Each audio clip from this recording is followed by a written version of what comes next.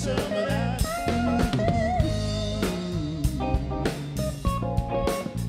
I've got those good, good times.